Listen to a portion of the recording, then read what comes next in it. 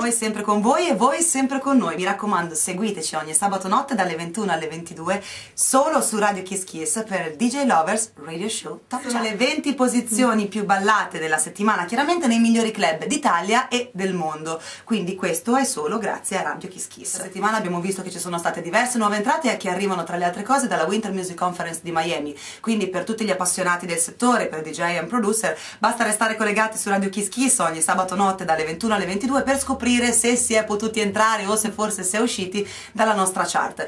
L'anticipazione appunto che vi ho detto è che questa settimana ci sono tantissime novità che arrivano dalla conference di Miami. Per saperne di più restate collegati.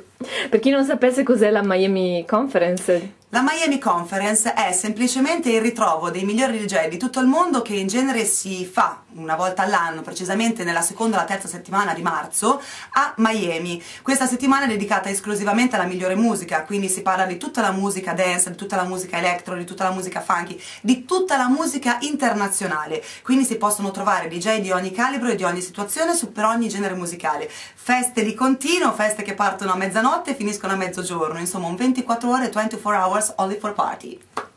Ci vuoi dare qualche nome di qualche DJ particolare che nel fare queste tue charts uh, ti ha colpito?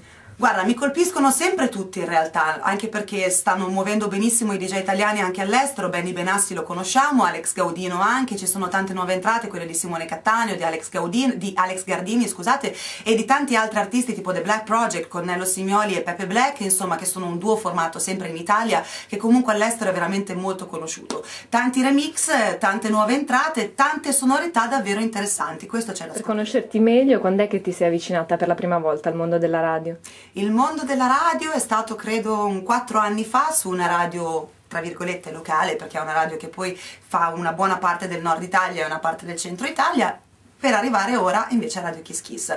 Tutto questo grazie comunque a quello che succede nei night club, non nei night club, proprio nel night live, piuttosto nelle discoteche, quello che capita all'interno di una serata e quindi del vocalist che in un certo modo anima, e emoziona e cerca di dare adrenalina alla gente che viene ad ascoltare non soltanto la musica ma viene anche a divertirsi. Ecco, immagino che non sia un'impresa facile riuscire a trasmettere quella giusta dose di energia quando si è eh, sulla console. Non so se sia facile ma per me è divertente, fino a quando resterà resterà divertente resterà anche piuttosto facile. Eh, quali sono i consigli che tu vorresti dare a, una, a chi vorrebbe intraprendere questa professione? Come DJ io ho poca esperienza effettivamente perché mi sono sempre occupata dello speakeraggio. Per quello che posso dire io ad un DJ che vuole comunque emergere, chiaramente c'è sempre una grande distinzione da fare tra DJ e producer. Magari prima iniziate ad ascoltare la musica, iniziate a conoscere la musica e in un certo modo a mixarla nel vostro, nella vostra voglia, nella vostra sintonia con il vostro gusto, perché essere comunque indipendenti, unici e se vuoi in qualche modo estroversi rispetto agli altri ha sempre una marcia in più.